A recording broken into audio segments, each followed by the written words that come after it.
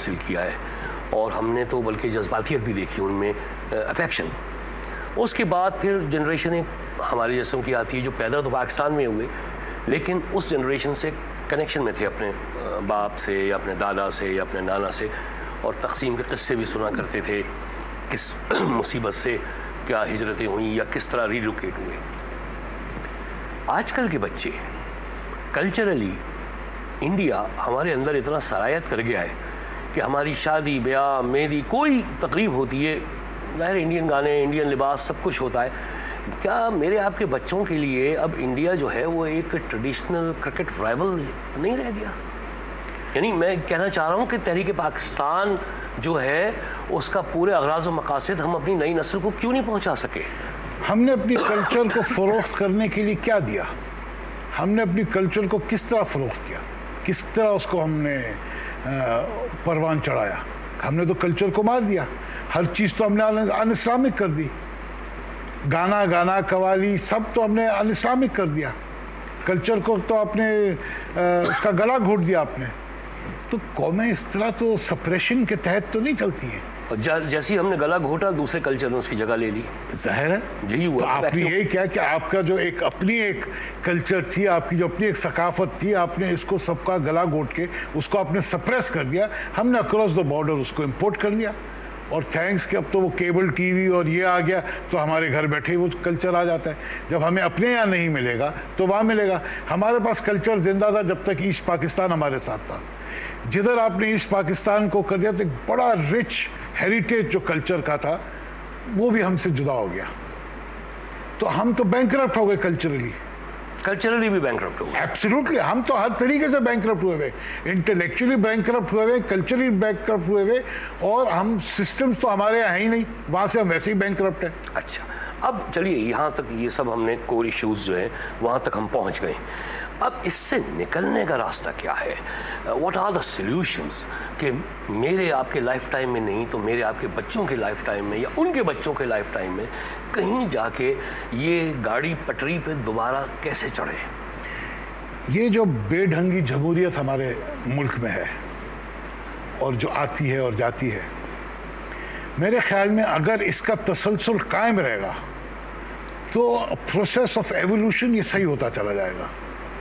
हमें कंटिन्यूटी और एवोल्यूशन का प्रोसेस जो है, वो हमें हमारी मंजिल तक पहुँचा सकता है। बशर्ते जमहूरी निज़ाम कायम रहे। अब आप डे वन से जमहूरी निज़ाम के अंदर ten out of ten points देखने की कोशिश करेंगे तो आप मायूस होंगे। आपको गालिबा टू पॉइंट्स नज़र आएँगे उसमें, और एट पॉइंट्स का डिफिसिट नज़र होगा। लेकिन आप अगर ये सोच लें कि चलो कुछ कदम तो आगे बढ़े बहुत करप्शन बड़ा लूटमार हो रहा है। अगले दफ़ा अगले साल दो साल बाद या दूसरी इलेक्शन में हो सकता है वो दो से और यकीनन होगा तीन हो जाएँगे पॉइंट्स चार पॉइंट्स होंगे।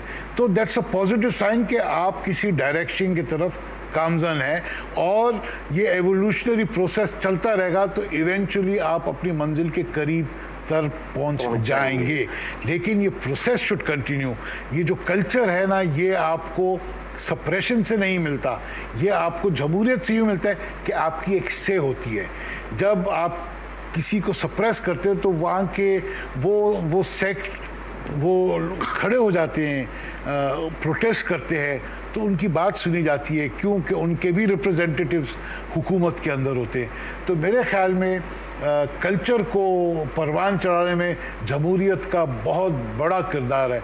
और मेरे ख्याल में अगर जमहूरीत को हमने आ, चलने दिया तो वो इन एक दिन आ जाएगा कि पाकिस्तान इंडिया क्यों है इस तरह? इंडिया में जमहूरी इलेक्शन फिर दूसरा फिर तीसरा शायद चौथे या पाँचवें में डिसाइफरिंग का प्रोसेस शुरू हो गया आप उनके वहाँ देखिए कि उनकी कितनी लैंग्वेजेस हैं। कितने उनके प्रोवेंसेस हैं उनके जो खाने हैं वो कितने मुख्तलिफ़ हैं उनके लिबास कितने मुख्तलिफ़ हैं। लेकिन चूँकि जमहूरियत है तो आसाम के अंदर आसाम का कल्चर चल रहा है टामिल्स के अंदर टामिल का कल्चर चल रहा है बॉम्बे में बॉम्बे का चल रहा है महाराष्ट्र का चल रहा है तो इनके कोई क्लैश नहीं है। कोई क्लैश नहीं अपने अपने कल्चर्स में खुश है। हमारे यहाँ है नहीं। सबने शलवार पहननी है सबने दुपट्टा पहनना है। कोई साड़ी पहन ले तो क्या मत आ जाएगी? ये इस तरह मुल्क नहीं चलते। आप इस तरह कि आप कहें कि जी आपके सर पर दुपट्टा नहीं है तो आपको रिजा मार दिया जाएगा। तो आप लोगों को डिक्टेट नहीं कर सकते कि कैसा करना है। आप एक एजुकेशन का प्रोसेस जारी रखें एवोल्यूशन कायम रखें। मैं खुदा ना खास्ता ओरियानियत को नहीं कह रहा कि आप इसको परवान चढ़ाएँ। लेकिन लेकिन हमारे कल्चर में इतनी बेगैरती नहीं है। हम बुरखे की जगह अगर अजरक ओढ़ लेते तो उसमें क्या गुना है? ठीक और कल्चर है। कल्चर, कल्चर है। है हमारे गाँव देहात की औरत तो बगैर बुरखे के बेचारी खेतों में काम कर रही होती है। अब आप कहें कि ये भी गलत है। बल्कि आपके जैसे एक दानेश्वर एक मरतबा मेरे प्रोग्राम में आए थे तो उन्होंने ये कहा था कि अगर अगर सेकुलर के मतलब देखने हो तो हमारे गाँव देहातों में देखो जाके कि जहाँ पे एक सेकुलर सिस्टम होता है नाफिज जहाँ पे के औरतें मर्द सब शाना बशाना काम कर रहे होते हैं। कोई इस तरह की प्रिमेटिव सोसाइटी इस तरह शहरों में हमें नज़र आती है वो नहीं होती है वहाँ पे। कम अज़ कम वही मॉडल हम लेना लेके अगर आ, आ जाएँ शहरों में। मैं एक आपको लंदन का हवाला दूँ। मैं क्रिकेट खेलता था तो वहाँ शाम को जब बैठते हैं तो वहाँ पाकिस्तान की बात हुई और कहा कि how sorry they are for Pakistani women और किस तरह उनको तो मैंने उनसे कहा कि पाकिस्तानी औरत तो बड़ी बाख्तियार है। अगर तुम पाकिस्तानी सोसाइटी को देखो तो पूरा घर जो है वो माँ के इर्द गिर्द घूमता है। सही और तुम जिस इंडिपेंडेंस की बात करते हो इतने आगे आके ज़िंदगी में इतनी सिविलाइजेशन को तुम्हारी इवॉल्व होते हुए इतना टाइम लगा। हमारे खेतों और गाँव में जाके देखो जो तुम्हारा बरतानिया भी आज इतनी इंडिपेंडेंस औरत को गालिबन शायद ना दे रहा हो वो हमने दी हुई है। तुमने तो इंडिपेंडेंस उरियानित के नाम पे दी हुई है। हमने तो एक्चुअल इंडिपेंडेंस दी है। वही आप वाली बात कि आप हमारे खेतों और गाँव में जाके मर्दों के साथ शानबा शना औरतें काम कर रही हैं। काम कर रही हैं। और प्रोडक्टिवली काम कर रही हैं। तो ये हमारे आइन में क्यों नहीं इसकी गारंटीज नहीं इसकी वो इसको प्रोजेक्ट क्यों नहीं किया जाता? इनको गारंटी के अलावा इनको शहर में क्यों ये चीज़ें नहीं लाई जाती? आप आइन की बात कर रहे हैं।